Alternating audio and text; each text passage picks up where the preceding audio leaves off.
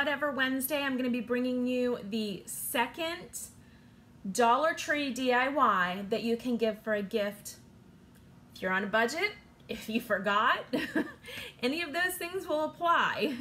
So what I did today was I'm taking an acrylic frame and I am going to be making it into a personalized um, post-it note holder. It's sits made to sit on a desk and you can put the person's name on it. You can put any kind of embellishment. I've got flowers and rhinestones and um, a sticker from a collection that I got at Tuesday mornings a couple weeks ago. But you can do anything with this. Go to the Dollar Tree and pick up you some ribbon, the gemstones. The only thing that is not from the Dollar Tree is the sticker that I put on it, but I mean, there are tons of stickers at the Dollar Tree. You could definitely find something there that would make a super cute um, decoration for this. I also used some scrapbook paper that did not come from the Dollar Tree, but again, they have scrapbook paper at the Dollar Tree, so you could definitely use that. Um, I made the paper rose that you'll see. You can go on YouTube and Google how to make paper roses. They're everywhere. Um, let's see what else. That's about it.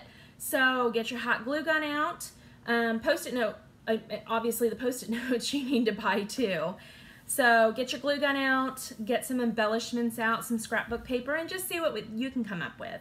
So I'll show you what I did here, and then um, get one for yourself and see how creative you can get with it. Okay, so for today's project, you're going to need some embellishments. I made that paper rose, an acrylic photo holder from the Dollar Tree, and a notepad that I also got from the Dollar Tree. They're just those sticky notepads.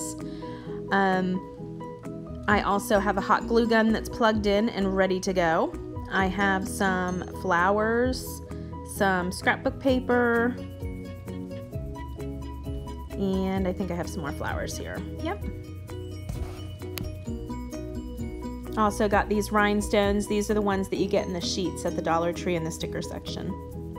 So you're just going to measure out the piece of scrapbook paper to the size of the photo frame.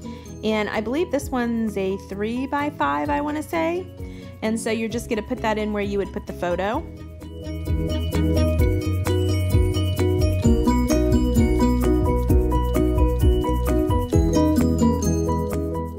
So at this point, I'm just trying to decide where I want everything. And you'll see me pick up things and move them and I'm really just trying to decide where everything goes at this point. That's just a sticker sheet that came from a collection that I bought from Tuesday mornings. All of those are different stickers. But again, you can also get stickers at the Dollar Tree. They'll work just as well.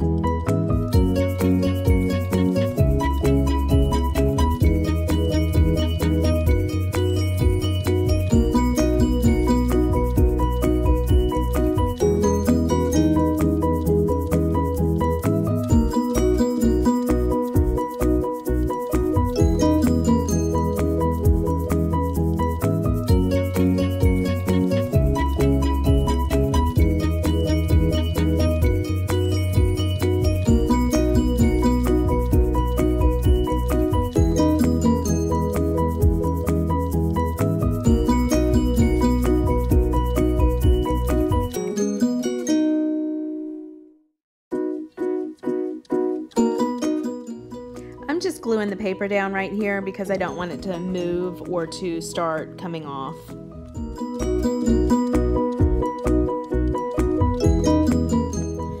So this is what it looks like. I'm just gonna let you know that today was not a good crafting day for me. Um, when I put that first thing on, didn't like the way it looked, tore it off. It left a big old mark right there. As you can see, some of the paper stayed on. Um, I covered it up with the flower, but um, I still, I'm just not in love with it. And then when I went to glue it down, I glued it wrong. So I saw maybe I could tear it up. I can't tear it up. It'll tear the whole piece off. So I'm leaving it. So what I'm saying is some days are not good crafting days. I feel like today, um, kind of everything that I'm touching is turning to poo. so I will not be crafting or doing any more DIYs today after this video.